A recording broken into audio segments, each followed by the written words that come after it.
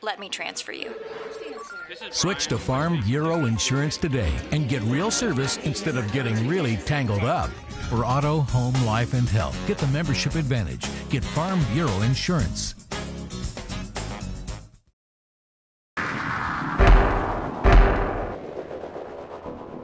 The guys knew that these games this weekend were must wins for us to stay alive, to, to be in the top six of the A10 uh, playoffs. So we desperately needed them. The guys performed, did what they needed to do, and some tough battles to get the W. So we're very happy about that. Yeah, it was a you know magnificent start for us. We got on the board early. It a great little combination on top of the box, and uh, Ben Brewster tucked it away nicely. On the first goal, I was making a run in at the top of the box, and Ty kind of left the ball for me, and I just went around him and tucked it home. Um, so it was good to get the goal.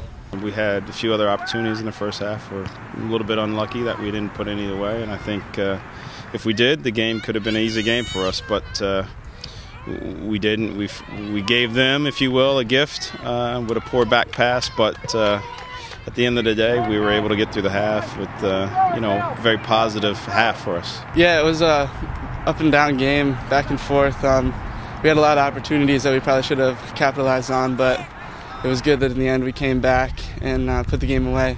On the second one, Kern played a nice through ball for me, and uh, I was able to just touch it into the corner. You know, he's he's been knocking on the door all season for some different looks. He's gotten himself in some good chances, and uh, today he's come through for us. So you know, it was a good day for him. I'm happy for him. Yeah, it's we, it's much needed wins. Um, we need to get as many wins as possible in these last few games, uh, coming into A10, um, down to the end of the season and uh, every win's important because uh, we're fighting for our lives here uh, in the tournament, trying to get in.